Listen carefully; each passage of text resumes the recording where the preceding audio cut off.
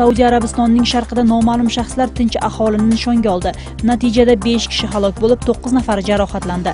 Niqob taqqan uch kishi miltiq bilan to'pponchalardan binodan chiqib kelayotgan kishilarga hujum qilgan. Voqea tekshirilmoqda. Kanada hukumati ebola virusiga qarshi dorini ishlab chiqishga 20 million dollardan oshiq mablag' ajratdi.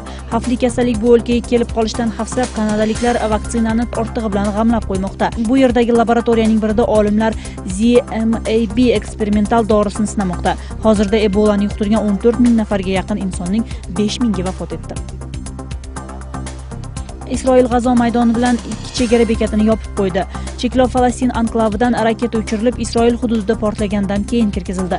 Portlash oqibatida qurbonlar yo'q. Bu 16 sentyabrdan beri g'azo maydonidan isroilga otilgan hujumning birinchisi.